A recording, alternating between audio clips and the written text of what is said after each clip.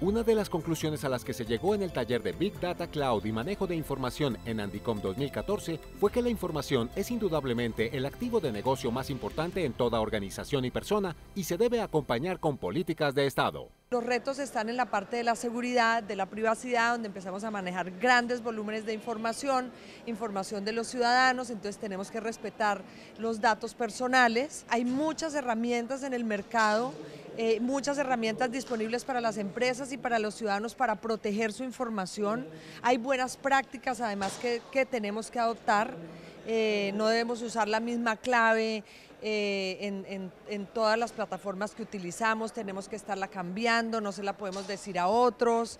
hay unas cosas pues de sentido común que no debemos hacer y que es lo que nos va a ayudar a cuidar nuestra información. La masificación de la tecnología ha generado una nueva ola en la modalidad de robo en la información. Primero que todo, ser consciente del marco legal aplicable y cómo lo vas a, ajustar para cumplirlo. Eso es fundamental desde el punto de vista de las organizaciones.